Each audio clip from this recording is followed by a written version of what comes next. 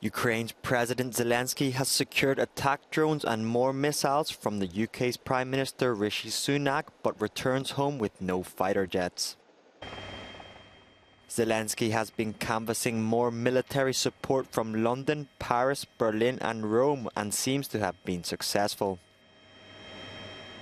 Бажаю здоров'я, шановні українці. Три довгих дні, і наші воїни, наша держава стають сильнішими. Я впевнений, значно сильнішими. Повертаємось додому з новими оборонними пакетами. Більше нової, більше потужної зброї для фронту, більше захисту для наших людей, більше політичної підтримки. President Emmanuel Macron won't send planes either, but confirmed France will continue to help Ukraine resist Russia. Nous avons décidé de livrer de nouvelles munitions.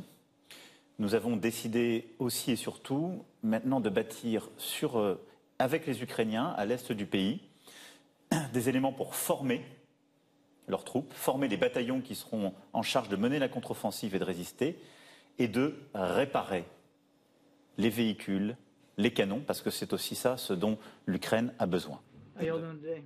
The White House's national security spokesperson has warned that Iran and Russia are expanding their unprecedented defense partnership. He said Iran remains Russia's top military backer and has provided Russia with artillery and tank rounds for use in Ukraine. In occupied Crimea, Russia is marking the five-year anniversary of the opening of the Kerch Bridge linking the Crimea Peninsula to mainland Russia. Last year it was damaged by a truck bomb. The bridge is symbolic of Moscow's claim on the territory.